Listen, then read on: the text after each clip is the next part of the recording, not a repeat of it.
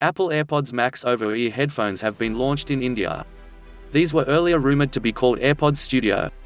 The launch of the new over-ear, wireless headphones from Apple was anticipated following multiple reports hinting that Apple could launch a new piece of hardware today, December 8. AirPods Max have been announced globally and will begin shipping around the world and in India on December 15. They have already been listed on the Apple India online store in five color options, pink, green, blue, space gray, and silver. The price in India has also been announced. AirPods Max price in India and availability The Apple AirPods Max have been listed on the Apple India online store for Rs. 59,900. They will be available for purchase through the store and other Apple resellers starting December 15th. The pair will be shipped with a special, smart case designed for it, which has a flap-open cover, along with a lightning to USB-C cable for charging.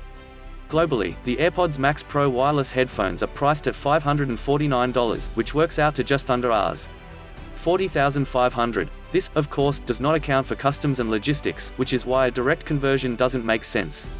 AirPods Max Pro specifications and features Apple's first over-ear headphones are claimed to deliver high-fidelity audio.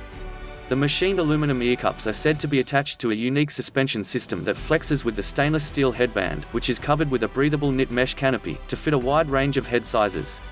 The ear cups of the AirPods Max have an acoustically optimized net that surrounds the magnetically attached cushions. Apple says that the combination of material provides a superior passive seal for a better noise-canceling experience. The AirPods Max are fitted with custom 40mm dynamic drivers from Apple and its proprietary H1 chip. The headphones have a total of 9 microphones, 8 of which also assist the active noise cancellation ANC function to block noise from all directions. It has a single button press transparency mode similar to what Apple's True Wireless Stereo TWS earphones, the AirPods Pro, also feature. The wireless headphones connect using Bluetooth V5. The AirPods Max have spatial audio with dynamic head tracking, which essentially uses accelerometer and gyroscope sensors to track head movement and optimize sound in real time. They have optical and position sensors to detect when the pair is removed from ears, or when one ear cup is lifted, to pause the sound. And also adaptive EQ to optimize sound for different genres of music.